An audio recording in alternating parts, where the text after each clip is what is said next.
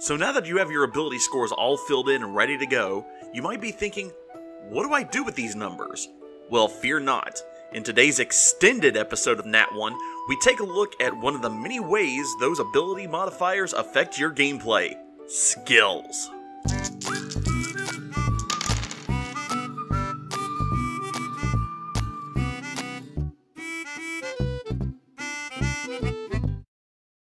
Greetings and salutations, everyone! I'm Krow Murder 15. So, skills utilize 5 of your 6 ability scores. Unfortunately, Constitution is left out in the rain for this one.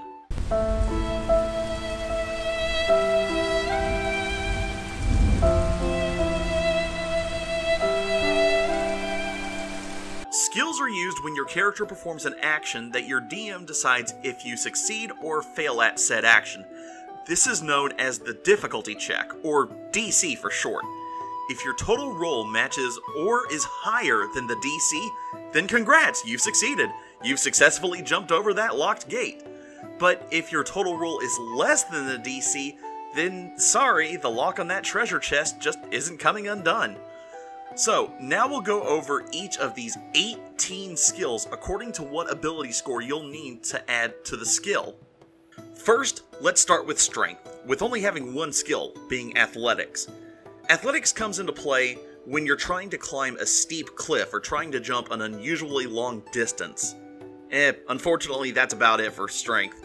Next, we move to dexterity, which consists of three skills. First, we have acrobatics. Think of acrobatics as trying to pull a stunt like a flip, or it could be something as simple as trying to keep your footing on slick terrain or trying to stay upright on a rocking ship deck. Next, we have Sleight of Hand, one of my personal favorites.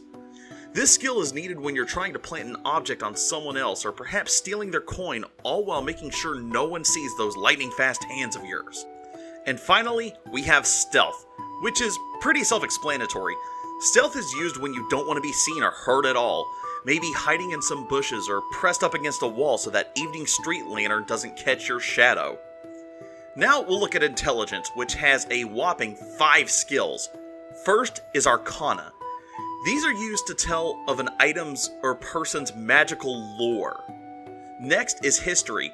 This skill allows you to recall people or places of legend, important battles, or possibly lost civilizations of days past. Now, to get a little Sherlock Holmes on you, we have Investigation. Investigation is used when you're trying to look for clues to a hidden doorway, or maybe your companion was injured and you're trying to figure out what type of weapon made that wound. Following that is Nature. Nature checks are for plant life, weather, and the general outdoors. Perhaps you spot a flower and you're trying to discover whether its properties are poisonous or beneficial. And lastly, we have Religion. This skill will help you decipher what that holy relic on the altar means, perhaps what god or goddess it represents, or could even belong to a secret cult that secretly worships Cthulhu. Still with me? Good, because we have two more categories to go. In the wisdom skills, we have animal handling. Need to calm down a domesticated animal or keep your mount from getting frightened? This is where animal handling comes into play. Moving back to the detective motif, we have insight. Insight is used when you're trying to pick up if somebody is lying to you. Normally, hints are given when you need to make this type of roll by a character's body language or speech pattern starting to change. Next, we have medicine. Medicine checks are used when you're trying to stabilize a dying companion or trying to diagnose an illness or an ailment. Following medicine is perception, probably one of the most used skills. Perception is used when you're trying to notice something in your general surroundings, such as eavesdropping on a conversation in the next room or looking ahead to see if you're going to be ambushed by someone. Lastly, under wisdom, we have survival. Think of survival as outdoor skills such as recognizing tracks, being able to survive harsh weather conditions, and avoid other natural hazards.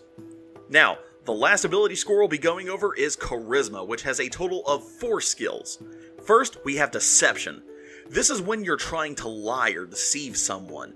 Maybe you're trying to convince a guard you're a high royal that demands to be into the higher quality district of town. Next is intimidation. That guard not letting you through, make a threat against him by telling him you'll do physical harm. Kinda like Batman. However, if you're wanting to solve problems more peacefully, perhaps persuasion is the better route. It's like deception, but rather than lying, you're being honest with your statements. And finally, there's performance.